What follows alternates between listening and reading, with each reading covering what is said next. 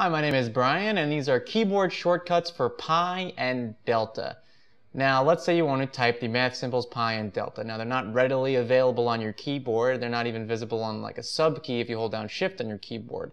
In order to type special symbols like this, you have to use what is known as accent codes.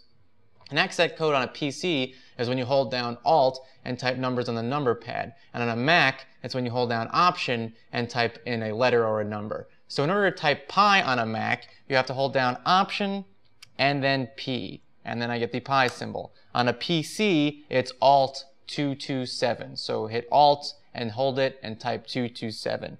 For Delta, you have to hit Option J on a Mac. On a PC, you hold down Alt and type 30.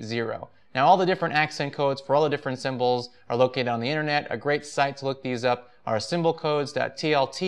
symbolcodes.tlt.psu.edu. They have everything from math symbols to foreign language symbols, and you can look them up there whenever you want to find a symbol that's not on the keyboard already.